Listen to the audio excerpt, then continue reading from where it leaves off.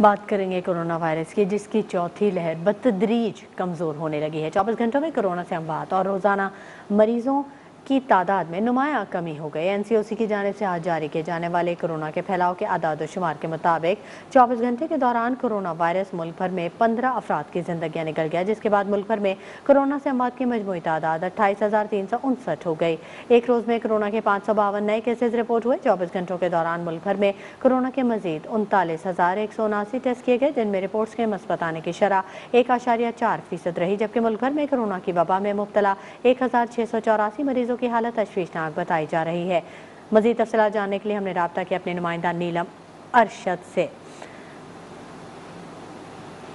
Corona के पाँच सौ बावन नए केसेज रिपोर्ट हुए हैं। आपको अपडेट कर दें, चौबीस घंटों के दौरान मुल्क भर में कोरोना के मजीद उनतालीस हज़ार एक सौ उनासी टेस्ट किए गए हैं, जिनमें रिपोर्ट्स के मस्बत आने की शरह एक आशारिया चार फ़ीसद रही, जबकि मुल्क भर में कोरोना की वबा में मुबतला एक हज़ार छः सौ चौरासी मरीजों की हालत तशवीशनाक बताई जा रही है। कोरोना जिसका जिसकी चौथी लहर अब बतदरीज कमज़ोर हो रही है।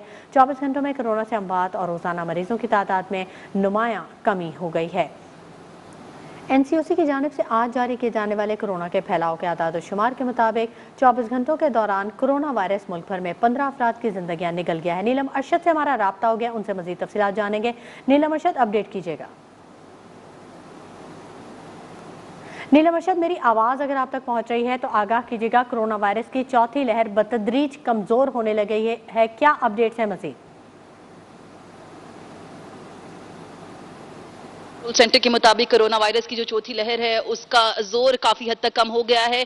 पॉजिटिविटी रेशो जो है वो एक इशारिया चार सिफर फ़ीसद तक रह गया है। गुजशत चौबीस घंटों में पंद्रह अफराद जान से गए हैं। दूसरी जानब अगर टेस्ट की बात की जाए तो टेस्ट की जो शरह है, वो भी रोज बरोज कम दिखाई दे रही है। उनतालीस हज़ार से जायद टेस्ट किए गए हैं, जिसमें से सोलह सौ से जायद जो नए कोरोना के केसेज हैं, वो भी सामने आए हैं। साथ ही साथ आपको बताएँ कि वो पेशेंट जिनकी हालत क्रिटिकल बताई जा रही है एनसीओसी की जानब से, उनकी तादाद एक हज़ार छह सौ अड़तालीस हो चुकी है।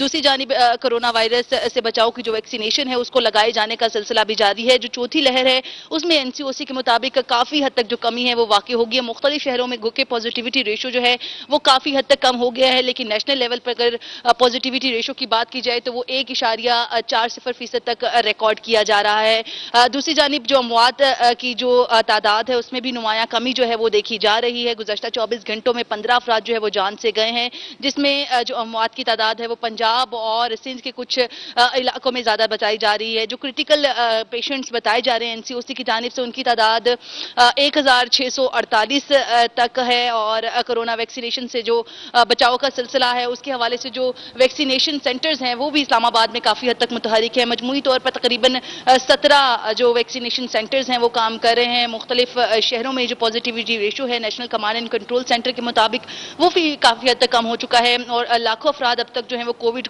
शिकस्त भी दे चुके हैं। जी, शुमाइला। बहुत शुक्रिया नीलम अरशद तफसीली अपडेट करने के लिए।